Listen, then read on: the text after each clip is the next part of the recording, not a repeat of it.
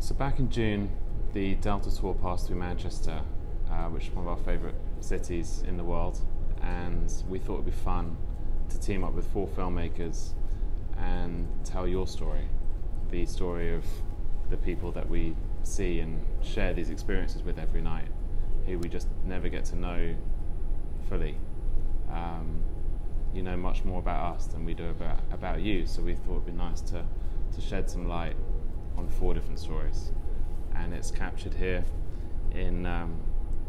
in these short videos. Um, and here's the first one.